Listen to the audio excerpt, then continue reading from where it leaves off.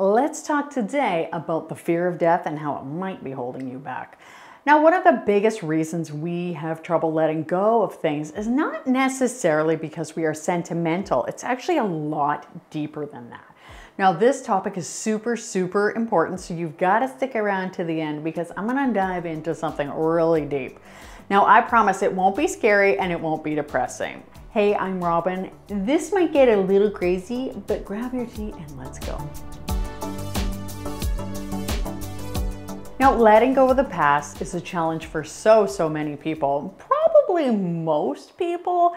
When I found out that my dad had passed away, I was obviously upset. Now, one of the things that bothered me, aside from the total tragic loss, but it was also how he had not prioritized his happiness the way that I feel he should have. And I think he even knew that that's how I felt. Well, I know he did because we talked about it.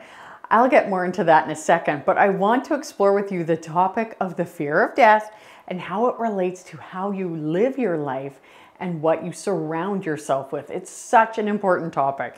Now, I have talked about this, the Swedish death cleaning before, and one of the actual topics, the actual deep down meaning, cannot be overstated just how important it is. Now, Margareta Magnusson's book, Dödsstädning, Swedish death cleaning, she describes three instincts the clutter instinct, wanting your things surrounding you, the hoarding instinct, where you keep things just in case and it helps you feel secure, and the fear of death instinct. I myself relate to this one most of all. Even now, more than ever, I would say. It's complex, and as they all are, but I really want to really deep dive into this one today because I think it is such an important topic. I think the fear of death instinct is ever present knowledge and awareness that time is fleeting, moving constantly, and that life is finite. We all deal with this in one way or another. Now, as an emergency nurse, I have seen so many lives end early, way too early. And I've also seen something that is equally as tragic, and that is people not recognizing how important life is and how they should live it to the fullest. I've actually seen lifestyle choices that have prevented people from walking across the room. And that is why I run on my treadmill. And it's just because I can. And if you can't, I'm not saying you should, and I'm not saying everybody should, and I recognize everybody comes from a different place. What I am saying is that we need to harness and live life while we can. Now, if you can change something to make your life better, I want you to do it. Okay, so the fear of death instinct with clutter is so, so interesting. I see this one as a huge reason why so many people keep sentimental things. It's like admitting that we aren't going to be here forever. And it's almost like refusing to move on. You're almost like holding yourself hostage in the past. You're not letting go of things from your kids, maybe when they were little, maybe you're kind of refusing to believe that they're growing up, that time is going on. If you keep those little pants, maybe you're in a way feeling like you're like keeping them forever. Like obviously you know you're not keeping them little, but even if you don't think this on a conscious level, you might be thinking it subconsciously. It's also a deep, deep visceral feeling when we let certain things we are attached to go. We are deeply attached to our children, our parents, or even certain stages of life. I had this adorable little Superman outfit that I bought my middle son when he was a baby. Now, because we lived where it was windy and chilly, he only had a chance to wear it once or twice. I held onto it forever. I'm not saying you need to get rid of absolutely everything, but I didn't really need to hang on to this. He didn't really wear it much. It wasn't like it was something super sentimental as far as he goes. What I am saying is you need to be selective about what you keep. I have kept a few items from my kids' past and from my past, and I will be keeping a few things from my dad's past. But deciding to let an item go, it might just represent the end of a season, which is not necessarily a bad thing, but denial is not just a river in Egypt. So, one example of the fear of death that a lot of people don't recognize is it can be something as simple as keeping something from your kids. So, like for example, my kids, I had this these lunch boxes for them, and like they're these this one is actually like kind of old, like my oldest. They're molded. They were great because I thought it was like perfect. You know, you just throw the food in them. They're watertight, or they were, and they would hold all sorts of things. There was like less waste. It was so easy. You could just throw them in the dishwasher. I thought like they were perfect. However, the problem is um, the kids, they've grown out of them. And so if I wanted to be like, hey, my kids, this is their lunchbox. I'm going to hang on to it. They're not fully grown. The thing is, they're out of that stage of life. They don't want these lunch boxes anymore. They want lunch bags, just like a paper bag. I can't try to keep them in that time forever.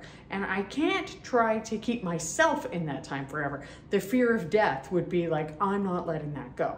Or exercising that instinct would be I'm not letting that go. By deciding, hey, I'm going to donate these, some other parent can enjoy these lunch boxes, then that is so, so much better. And that is like recognizing, hey, time moves. Other great things will be coming. Some people, like my dear dad, find it hard to let go of anything, anything at all. Now, my dad was not hoarder level.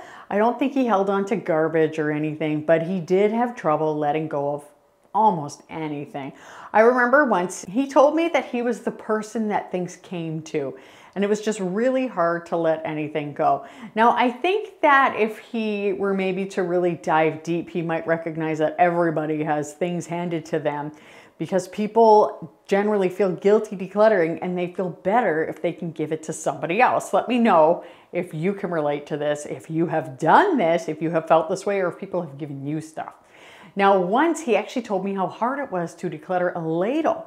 But when he had to let it go, he was actually so proud of himself, which I think is good. Like, what did that mean? What are you sacrificing when you can't let anything go? It goes deep and sometimes professional help is a good idea.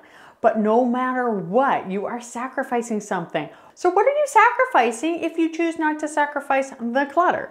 By choosing to keep the clutter, the things that you don't use, that aren't serving you and are more than likely adding to your stress, what are you sacrificing? I once said to my dad that it seems hazardous to keep everything around you so you can hang on to every memory and sacrifice your present. And that really struck him. You are choosing not to be happy. Not everything you let go of feels great to let go of, but not every decision you make is an easy one. Some are, which is good. Not every decision is a happy one. Making the choice. I really, really want to impress on you how important it is to make the choice to choose your life over all of your memories. You need to choose your future over your past. It is very hard for some people to let go of the past, but you need to recognize, you need to face the fact that life is moving and you want to enjoy all of it, don't you? You don't want to just spend all of your time living in the past. Don't sacrifice your happiness for some things, even if they are sentimental things. I mean, keep some things for sure. Keep the things that matter, keep the treasures. The great Peter Walsh describes treasures as all of your treasures together can fit on your dining room table. So for some people, that's not a lot of treasures, but don't keep the clutter. Now, I did some deep decluttering under my stairs in the summer right here. Click this video. This is from my childhood, from when my parents were younger, from when my kids were younger. I think you will really like it. Thank you so much for watching and I will see you next time. Bye.